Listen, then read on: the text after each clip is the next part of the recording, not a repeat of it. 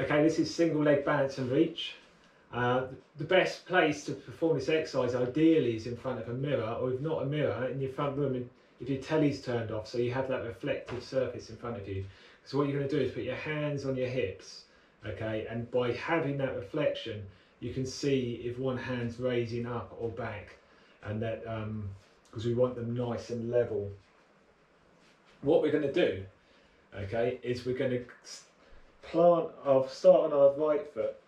So I'm going to plant my heel into the floor. I'm going to squeeze my quad to lock my knee and I'm going to squeeze my glutes as tight as I can. Okay, and then I'm just going to lift my left foot off to a hover. So it's just above where it was. It's not out to the side or back anywhere, it's just hovering. Now importantly at this point, what I'm doing to stabilise my foot is I'm pressing down through the big toe in the area just behind it and what that's going to do is reinforce the medial arch of my foot. Okay, and I'm going to hold this position for 10 seconds. I'm not actually going to do that, but that's what you would do. And then after 10 seconds, what I'm going to do is I'm going to bring my leg out to the front, okay? And I'm going to hold, and the whole time I'm squeezing my glutes. Don't forget to squeeze your glutes. You know, it's, you have a tendency to, to relax them. We don't want that. You can see how demanding this is getting already, okay, and I've practiced this quite a lot. From there, I come back to hover, so that was 10 seconds to the front, back to hover. Now I'm going to bring my leg out to the side and back just slightly.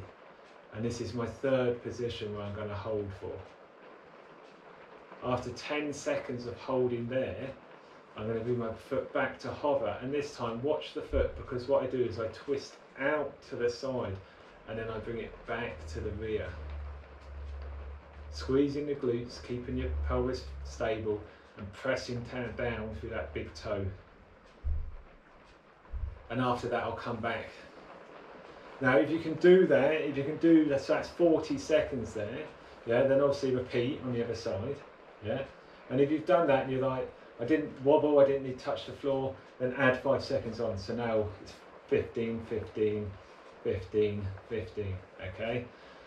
And then keep increasing the time. If you, you'll find it is, it's a tough exercise. If, you know, you're some kind of beast and, you, and you, and you're fine with that, what you can do is add a band around your waist, pulling that way, to add an additional force of the, of the band against your hip. But that's it, it's really good. Practice it. Um, and there you go.